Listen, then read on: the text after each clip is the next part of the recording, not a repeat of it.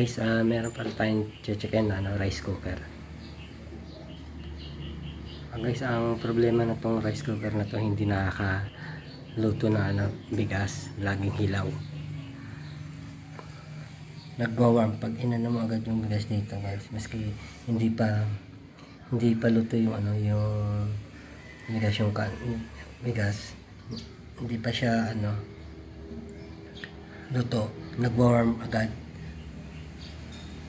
lumipat agad sa warm ang balang nangyayari hilaw yung kanin? Hindi siya nakakapag nakakaluto ng bigas. Bali guys ah bubuksan natin to guys ah checkin natin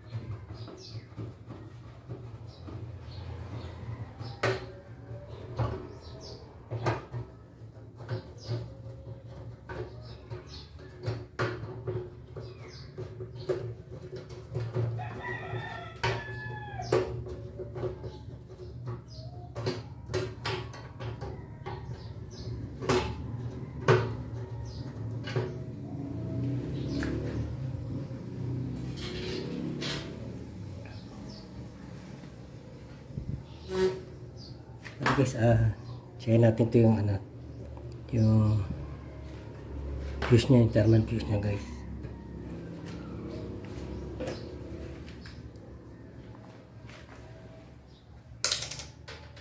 Tayong sound guys.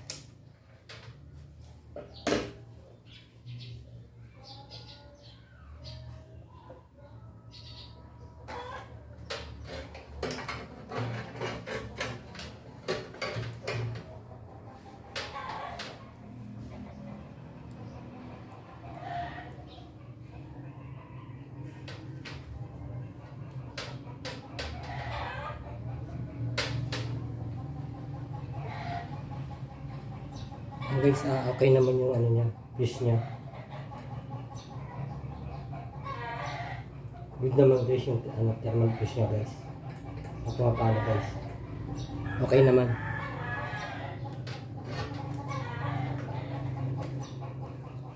Bali ang ang gagawin natin guys, itong ano, checkin natin tong ano. Bali ang, ang problema nito guys yung ano magnetic temperature sensor niya. O kaya mag ano magnetic thermostat. Ito guys yung sa gitna.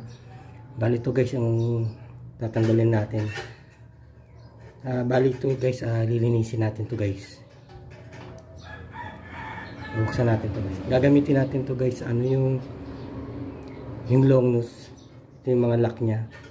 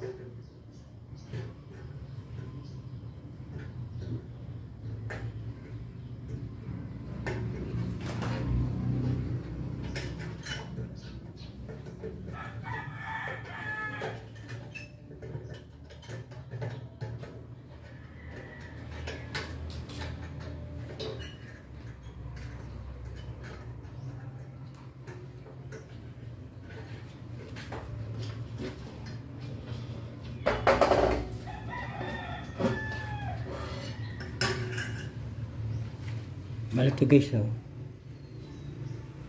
Kinalawang na yung ano. Yung spring niya guys. Yan. Yan, balik to guys. Uh, lilinisin lang natin to guys. Ito, pati dito niya guys. Oh. Ay, lilihain natin to guys. Yung pinong liha lang guys. Yan. Oh. Nalawang na. Pati yung spring niya, makalawang na guys. Malilihay lang to guys. Lilihayin lang na yung pino.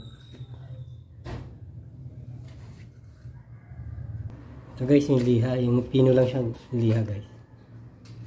Yung spring niya, kinain na ng ano, kalawang. Ito yung dito niya guys. Uh, lilihayin lang to. Uh, yan, kinalawang na kasi dito guys. Ito yung ano niya guys, magnetic temperature sensor, magnetic thermostat.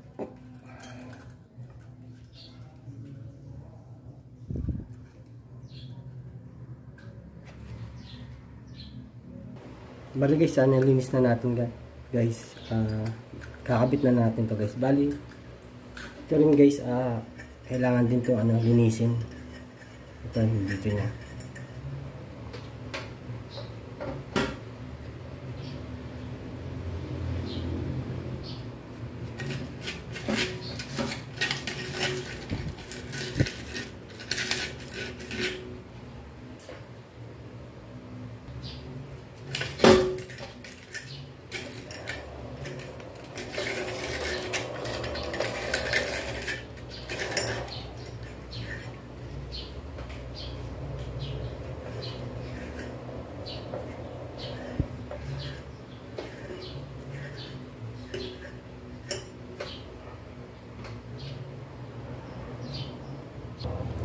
Bali guys, ay kakabit na natin yung magnetic temperature sensor o magnetic thermostat.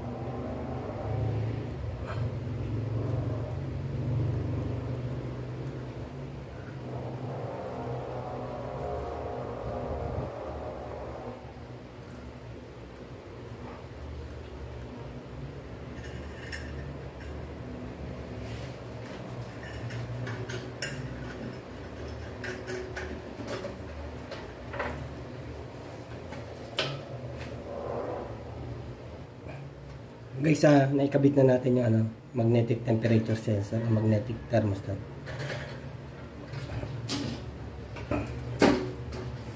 Guys. Bali, testingin na natin to guys.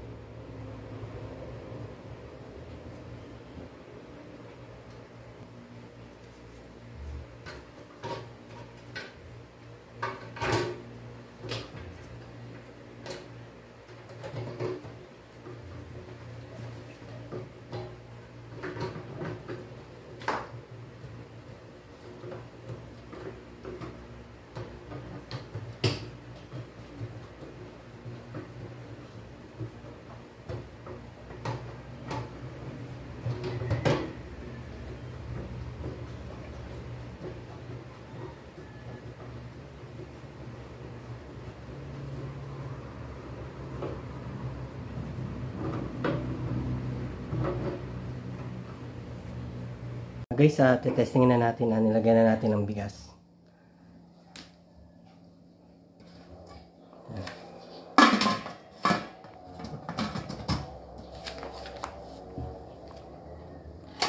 Ayan. Ano na guys.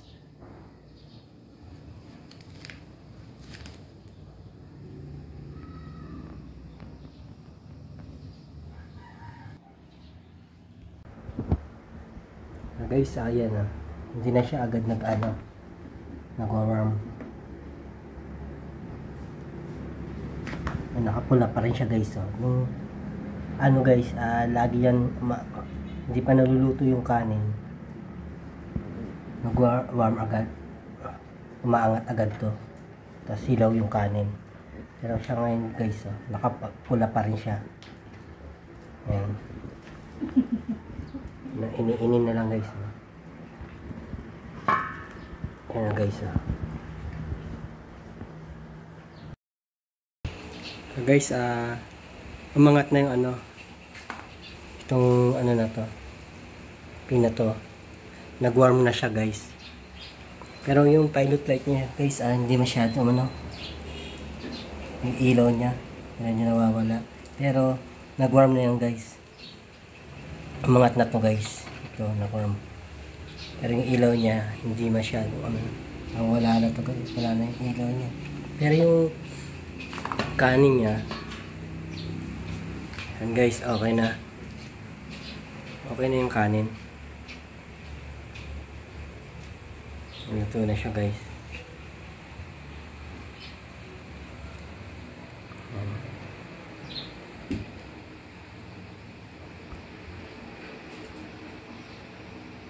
Okay na siya guys. Ah, bali yun lang guys, ah, pag nahihilaw yung ano, yung kanin,